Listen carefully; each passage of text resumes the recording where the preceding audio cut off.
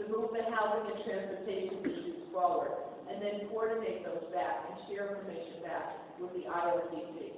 So that's the connection there, and I'm really pleased that we've got great momentum, um, in that area.